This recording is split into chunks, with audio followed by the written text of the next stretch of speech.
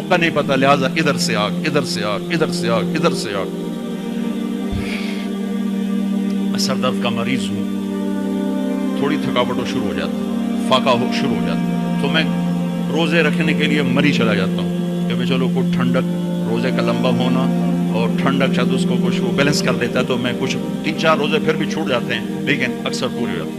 तो भुरबन में वहाँ एक जगह मैं ठहरता हूँ असर के बाद मैं थोड़ा बयान करता हूँ मुआशरत पर। तो पहली दफ़ा जब मैं वहाँ ठहरा तो आठवें दिन इमाम मस्जिद की बीवी आई हमारे पास, मेरी बेगम के पास, कि जी, बेगम साहब, मैंने आपका और मौलाना का शुक्रिया अदा करना है कि आज मेरी ज़िंदगी का पहला हफ़्ता है, मेरे खामिद ने मुझे मारा नहीं। पहला हफ़्ता। इमाम मस्जिद, इमाम, मुसल्ले पे खड़े होने पर आज पहला ज़िंदगी का हफ़्ता मेरे खामिद ने मुझे मारा नहीं, वरना मेरी हर दूसरे दिन पिटाई होती थी। और दसवें दिन इमाम साहब खुद आ गए। कहा मौलाना साहब, हमें पता ही नहीं था ज़िंदगी कैसे गुजार। हमारे जो माहौल में था, हम वही कर रहे थे। तो मेरे बहनों ही ने, मेरी बहन की एक दफ़ा टांग तोड़ी, एक दफ़ा बाजू तोड़ा, और आलिम दीन है, आलिम दीन है।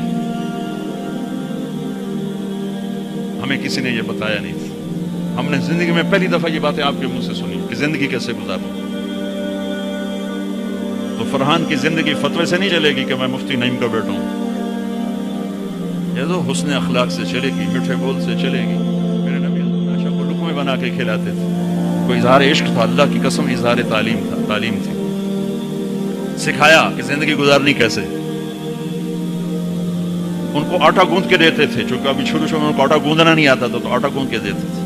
और अरब बड़ी बड़ी बोटियाँ पकाते थे तो हज़रत आशा बोटी उठा के ऐसे नोचती और फिर रख देती।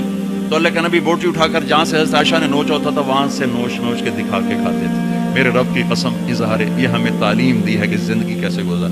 फिर बड़े बड़े प्याले होते थे, पानी पीने के छोटे गिलास नहीं। छोटा गिलास तो बुखल की निशानी, अब तो और छोटे हो गए। कप को गिलास बना दिया। मेरे बचपन में मुझे याद है, इतना बड़ा गिलास होता था। और डेरे में जितने मेहमान होते थे, कच्ची सड़कें होती थी, मेहमान को हमारे रिश्तेदार या दोस्त नहीं, राहगीर मुसाफिर होते थे। हर मेहमान को दूध पिलाया जाता था रात को। चूँकि जानवर ज़्यादा होते थे तो हमारा इकराम ज़्यादा से ज़्यादा यही होता था तो हम सारे मेहमानों को दूध पिलाते थे। तो एक मेहमान आया हमारे दादे का ज़माने का, चाचा लाल। अब गिलास छोटे हो चुके हैं तो वो जब नौकर ने दूध पेश करने के लिए ना आगे बढ़ा तो उसने गिलास देकर कहने लगा, पुत्र, मैं नहीं पींदा। समझ रहे हो? पंजाबी समझ रहे हो पुत्र, मैं नहीं पींदा। उसने कहा, चाचा, क्यों नहीं पीना है?